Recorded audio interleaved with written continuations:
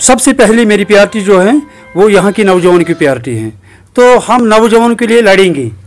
चाहे हमें किस हद तक भी जाना पड़ेंगे, चाहे हम यहाँ की मंजे हुए सियासतदान, गवर्नर साहब के सामने अपनी जोली उसके सामने फैलाएँगे और दिल्ली के बड़ी से बड़ी क्यादत के सामने भी हम जाएँगे तो हम उसके लिए हिचकिचाट नहीं करेंगे। हम जाने के लिए तैयार हैं। हम नौजवानों के लिए उठे हैं। हम भ्रष्टाचार के खिलाफ उठे हैं।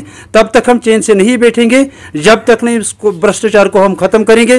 और जिन लोगों ने सत्तर साल से आज तक भ्रष्टाचार किया है आज मुझे लग रहा है कि हम इस वक्त अपने गवर्नर साहब के सामने सारे मसाइल रखेंगे। तो मुझे उम्मीद है कि वो जल्द अज जल्द उस पर कार्रवाई करेंगे।